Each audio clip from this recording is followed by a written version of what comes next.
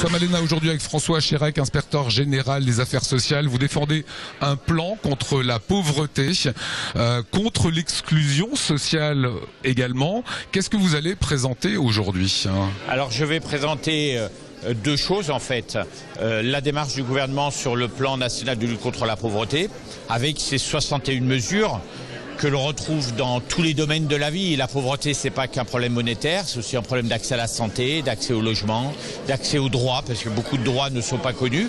Puis la deuxième chose, on va travailler cet après-midi par département pour voir comment on décline ce plan national parce que on a beau avoir un plan, les réalités territoriales sont pas les mêmes. L'Alsace c'est pas la Provence, la Provence c'est pas la Bretagne. Donc on voit pays par pays, région par région comment on peut décliner ce plan. Vous avez travaillé sur la Réunion, vous avez travaillé sur la Corse. Quand vous voyez l'Alsace qui est une région qui, qui reste plutôt riche, bien que touchée aussi par le chômage, quelle est la pauvreté que vous décelez chez nous en Alsace ah, Écoutez, l'Alsace est, est une des deux régions les moins pauvres de France. Donc déjà ça c'est important de le dire. Alors pour une raison essentielle, hein, c'est euh, euh, un pays frontalier avec des travailleurs qui passent la frontière tous les jours, hein, c'est des, des, milliers, des dizaines de milliers, et qui ont un revenu un peu plus élevé. Donc le, taux de revenu un peu plus élevé. Par contre, ça n'empêche qu'il y a des, des, poches de pauvreté, comme euh, on peut dire. Alors d'abord euh, euh, des quartiers qui sont bien précis, qui sont connus autour des grandes villes, où il y, a, il y a des situations de pauvreté, des familles monoparentales importantes,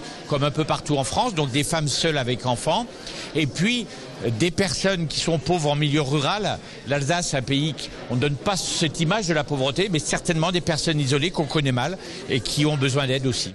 Qu'est-ce que l'ancien syndicaliste euh, que vous avez été pendant de nombreuses années va apporter dans ce combat en termes de connaissances, en termes d'acquis On a deux France en fait. Euh, même si on parle de plus en plus de la pauvreté, on a quand même le pays du monde du travail et puis euh, les gens exclus du monde du travail. Et à la frange des deux, ce qu'on appelle les travailleurs pauvres, c'est-à-dire des, des, personnes qui ont des temps partiels petits et qui n'ont pas assez pour vivre. Que vous avez côtoyé dans votre vie professionnelle. côtoyé pour vivre, qui n'est pas toujours facile d'organiser au niveau social, au niveau syndical, mais qui sont à la frange de, du monde de l'exclusion, du monde du travail. Et là, je, je peux apporter ma, ma connaissance. J'ai envie de dire, euh, mon action qui était une action militante, maintenant qu'il y a une action de, euh, comment dirais-je, de politique publique, euh, c'est un petit peu euh, le même domaine.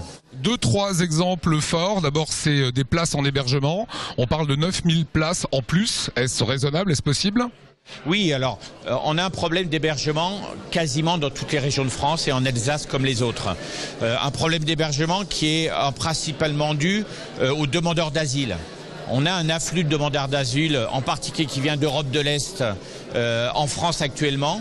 Euh, ces personnes-là n'ont pas euh, accès aux logements sociaux parce qu'ils sont demandeurs d'asile et, on a un engorgement, comme on dit, des, des, des places d'hébergement, donc création euh, de 9000 places en 2013 et mon rôle c'est de regarder si vraiment ces places sont mises en œuvre. Voilà, ça sera euh, la, la, gageure, ça sera justement de, de, le faire. Les contrats aidés, on parle de contrats aidés avec des périodes de 12 mois euh, de, de travail, c'est possible?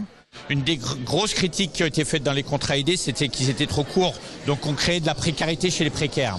La volonté là, c'est d'allonger et d'arriver à une moyenne de 12 mois. On a commencé l'année à 6 mois on en est à 11. Donc on voit bien qu'on peut les, euh, les rallonger. Et c'est quand même un peu plus sûr à condition, évidemment, qu'il y ait un accompagnement vers la formation et autres, que les personnes aient des solutions à la sortie. Mais c'est quelque chose qui progresse bien. Dernière question, on sait que les caisses de l'État sont vides. Est-ce que c'est pas la pauvreté qui va pâtir justement d'un manque de moyens?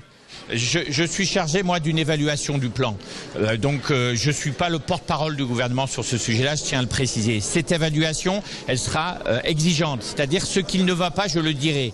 Et je sais que les associations ont une peur, c'est que si ce plan marche, ce qui serait une bonne chose, on prenne de l'argent sur euh, l'aide aux, aux, associations et, et, la lutte contre la pauvreté pour financer ce qui marche. Et mon rôle, ça sera vraiment de veiller à ce que l'argent qui est prévu pour aider les personnes en difficulté soit bien débloqué et soit bien utilisé à bon escient. Voilà, mais on ne sait pas pour l'instant si on a assez de moyens.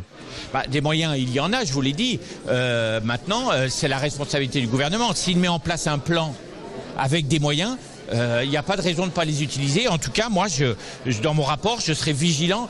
On ne refuse pas de mettre en place ces mesures sous prétexte qu'il n'y a pas de moyens. C'est un engagement du gouvernement, il doit les tenir. François Chirac, merci, bonne route.